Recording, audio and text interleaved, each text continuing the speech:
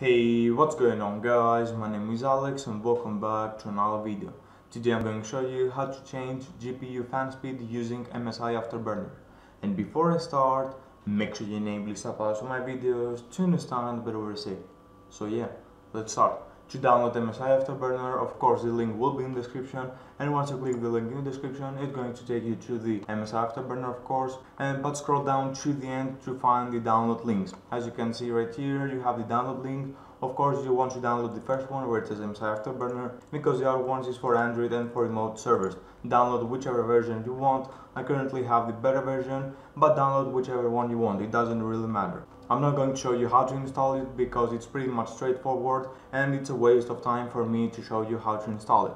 To change the fan speed, this is really simple. Go here in the menu and go down here where it says fan speed in brackets percentage. You will see in the right side in the auto button that this is enabled. You will see a green light, so that means that the fan speed will change automatically when the GPU hits a high temperature number. So to change the fan speed, as you can see, you cannot change it because the bar is grayed out, because the auto button is enabled. To disable it, just simply click on top of the auto and you will see that the green light has gone gray. And right now you can change the fan speed to whatever you want. The minimum speed is 25% and the maximum is 100%. To apply the number that you have put, go down here where it says apply and you will see here in the right side where it says fan tachometer, it will be at 100% once I applied it and the RPM will be around at 3050 RPM. So if I click apply, the RPM will slowly go up to 3000. I do not know if you're going to hear the GPU at 100% but if you hear it then you have good ears.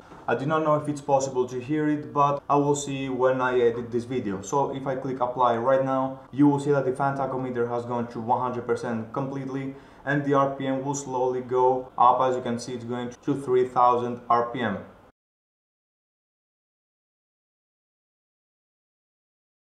As you can see, it has gone to 3050 RPM, that's the maximum that it can go, and surprisingly, that's almost half the speed of a hard drive.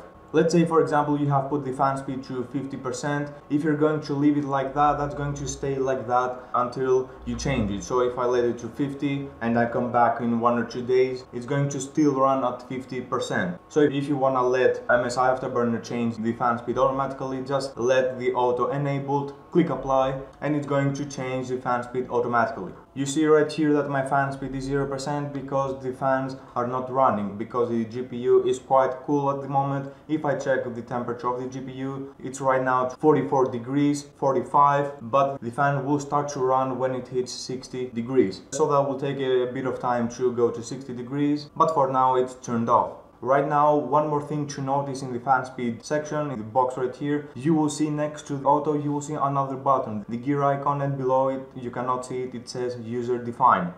Hello guys, this is Editing Alex right here. I'm currently editing this video and I forgot to tell in the video that if you have a different skin layout on MSI Afterburner and you cannot find the user defined button or the gear icon button, if you have this skin right here or similar to this one and you cannot find the button, make sure you go down here in the fan speed section and right next to the slider you will see a gear icon button. If I hover on top of it, it says user defined. So that's the button right here. And yeah, if you click on top of it, right now it's disabled but if I click on top of it again it's gonna get enabled and yeah that's everything I had to say let's get back to the video if I click on top of that, you will see that the fan speed will change automatically to 45%. So if I click it, as you can see, the fan speed has gone to 46% because I'll show you right now what it is. So if you go in the bottom right corner and click settings again, and you go up here to the second tab where it says fan, you will see a graph with the fan speed and the temperature. So let's say for example that your graphics card is 60 degrees right now and you want to put the fan speed to run for example at 80 degrees. So when your GPU hits 60 degrees the fan speed will go automatically to 80% fan speed.